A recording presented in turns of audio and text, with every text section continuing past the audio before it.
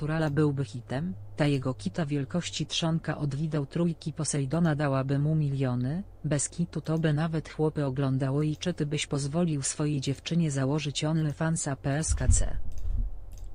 Powiem ci tak. Wydaje mi się, że mit wielkiego naturala, wielkiego naturala wyupadł w momencie, kiedy OnlyFans by powstał, to po pierwsze.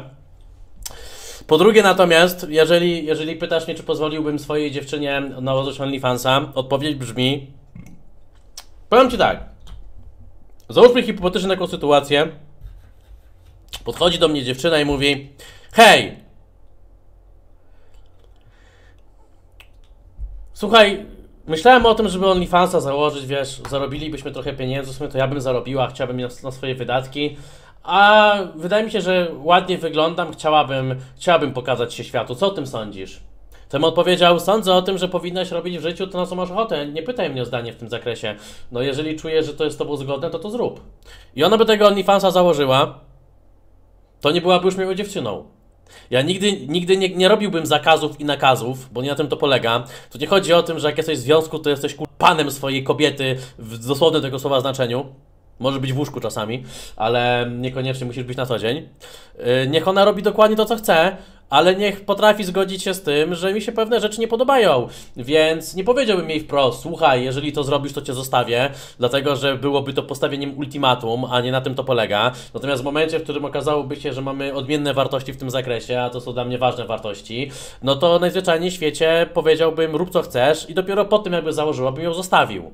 A jeżeli jednak by się zastanawiała i powiedziałaby, kurde, wiesz, to w sumie może trochę popłynęła, może jednak nie powinnam, miałem chwilę zawahania, to okej, okej, okej. Ja też, ja też niejednokrotnie miałem jakieś chwile zawahania w życiu, czy robiłem głupie rzeczy, z którymi się nie zgadzałem, yy, więc ja, rozumiem. Ale są jakieś granice i tyle. Rafciu, toksik? A dlaczego niby toksik? Toksyczne jest to, że pozwalasz zrobić drugiej osobie ta samą ochotę? Niesamowite.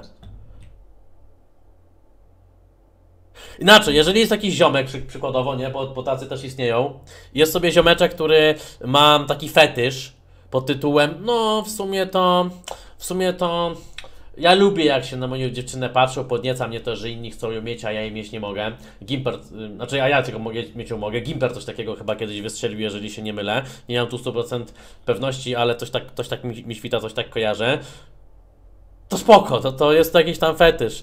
Natomiast ja takiego fetyszu nie posiadam i, i nie jestem, nie jestem fanem em, dzielenia się intymnością i tyle.